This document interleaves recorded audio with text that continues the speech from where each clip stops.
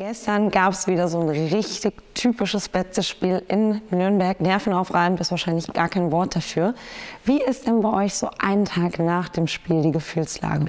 Ja, also erstmal natürlich freuen wir uns über den gewonnenen Punkt. Ähm, wir haben in der 95. wieder das Tor gemacht äh, und dann diese ganze Stimmung mit den ganzen Fans, das ganze Feiern da.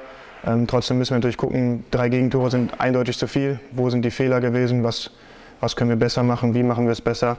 Ähm, und das müssen wir dann in der nächsten Woche wieder umsetzen. Du hast es schon gesagt, ihr habt jetzt die Analysen mal hinter euch. Ähm, war vielleicht nach dem frühen Gegentreffer in der ersten Halbzeit schwer, einen Spielverlauf zu finden. Dann kommt er vor dem Halbzeitpfiff ran und dann gibt es zu Beginn der zweiten Halbzeit wieder den Dämpfer, als Nürnberg dann auf 3-1 zwischenzeitlich erhöhen konnte. Hast du denn selbst nach deinem Treff an der 88. Minute auch noch auf dem Platz dran geglaubt, dass es doch noch ein Punkt äh, werden kann? Also wer dieses Jahr bei uns nicht dran glaubt, der ist, glaube ich, also der, also man muss einfach dran glauben bei uns, egal ob es auch in Heidenheim oder in vielen anderen Spielen haben wir schon gezeigt, dass es immer möglich ist und das zeichnet uns so aus, dass wir immer weiter kämpfen und immer weitermachen. Ähm, und haben uns diesmal für belohnt. Ich finde auch sehr verdient belohnt, weil wir haben zwar einige Fehler gemacht, aber auch trotzdem ein gutes Spiel wieder abgeliefert zum Teil. Ähm, und deswegen den verdienten Punkt mit nach Hause genommen.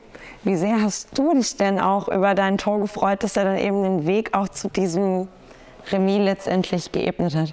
Ja, gefreut habe ich mich natürlich. In dem Moment war aber nicht viel mit Jubeln oder sonst irgendwas. Da hieß es nur den Ball rausholen und die letzten Minuten noch irgendwie da das 3-3 machen. Und ähm, ja, trotzdem freut es mich natürlich. Und nach dem Spiel äh, der Jubel mit den Fans, die wieder zu mehreren tausend mit in Nürnberg dabei waren, ähm, der hat auch, glaube ich, gezeigt, wie glücklich trotzdem jeder darüber über diesen Punkt war, auch wenn es vielleicht nur ein Punkt war. So dieser Support gepaart mit der inneren Überzeugung, du hast es schon gesagt, dass ihr nie äh, ab, äh, abgeschrieben werden dürft, ist das so der Erfolgsgarant mal wieder gewesen? Ja klar, also die Fans, ich glaube, es waren wieder 8000 oder so da, es ist unfassbar. Ähm, das war wieder eine Wahnsinnsstimmung äh, und auch die, die geben natürlich niemals auf, genauso wie wir. Und dann zusammen ist es einfach, also es klappt irgendwie die Saison einfach und es funktioniert. Abschließend noch die Frage, du wirkst jetzt wieder sehr ruhig, nach der Analyse auch sehr geerdet. Aber wie war es denn gestern dann nach dem 3-3? Nach dem 3-3 war natürlich erstmal die Freude groß. Ähm, haben es dann auch, äh, also einfach insgesamt uns mit der Mannschaft gefreut, weil wir es verdient gehabt haben. Ähm, aber also es dürfen wir jetzt auch nicht zu, zu hoch anrechnen. Es zählt genauso viel wie der Punkt gegen Regensburg oder der Punkt gegen andere Mannschaften. Ähm, trotzdem freut man sich natürlich, wenn man es am Ende dann noch schafft. Jule, vielen Dank dir und äh, eine gute Zeit. Dankeschön. Jule, ein Tag hier nach diesem verrückten Spiel in Nürnberg, bei dem du dein Debüt gegeben hast. Ähm, da ist die Gefühlslage vielleicht ein bisschen anders als gestern. Sag mal, wie bist du denn äh, heute Morgen aufgewacht oder wie war denn hier die Analyse?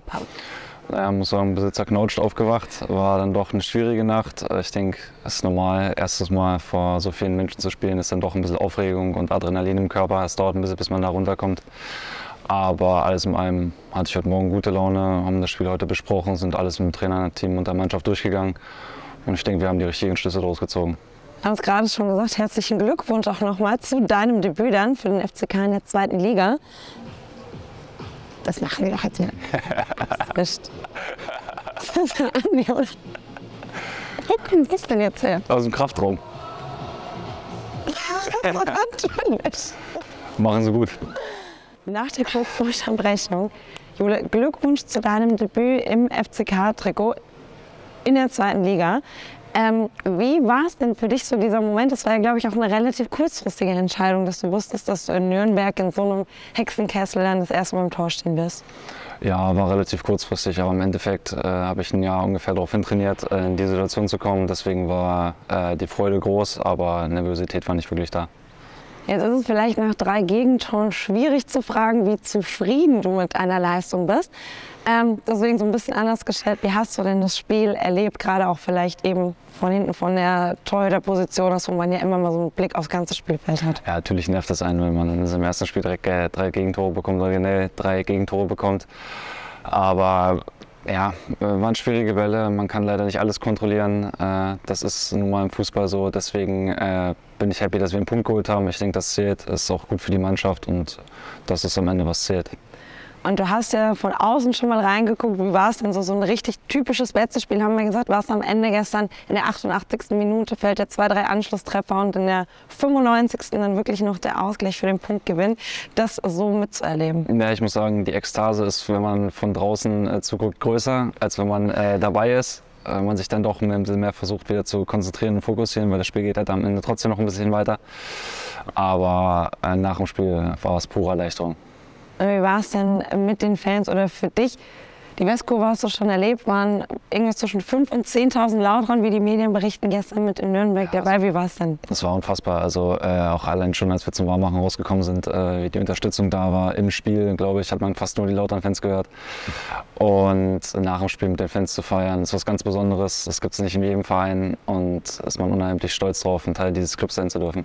Hoffen wir, dass du das ein bisschen genießen konntest und äh, dass wir dich vielleicht auch demnächst noch mal auf dem Platz sehen, Jule. Danke für deine Zeit. Vielen Dank.